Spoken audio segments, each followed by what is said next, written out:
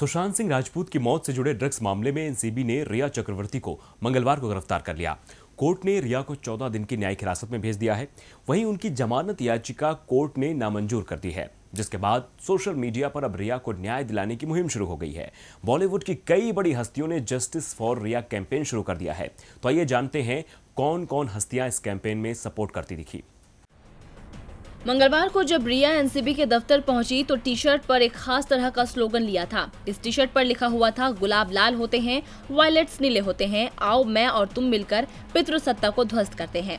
रिया के T shirt पर लिखे ये शब्द काफ़ी कुछ कह रहे हैं। रिया चक्रवर्ती की टी शर्ट पर लिखे इस स्लोगन के साथ बॉलीवुड के कई बड़े स्टार्स रिया चक्रवर्ती के लिए न्याय की मांग करने लगे और हैशटैग जस्टिस फॉर रिया करके हैशटैग चलाने लगे, जिसमें अनुराग कश्यप, राधिका आप्टे, अंगद बेदी, हंसल मेहता, दिया मिर्ज़ा, विद्या बालन करीना कपूर, नेहा धूपिया, राधिका मदान, गौहर खान, मंदाना करीमी, सोनम कपूर, फरहान अख्तर सहित कई कलाकारों ने इंस्टाग्राम पर रिया का समर्थन किया। वहीं बॉलीवुड के इन सेलेब्स को जवाब देते हुए सुशांत की बहन श्वेता सिंह, कीर्ति ने भी एक पोस्ट साझा किया है। उन्होंने hashtag justice for Sushant Singh Rajput के साथ सुशांत की तस्वीर साझा की, जिस पर लिखा है, गुलाब लाल होते हैं वायलेट्स नीले होते हैं और सही के लिए लड़े, मैं और तुम। डीबी लाइव की रिपोर्ट।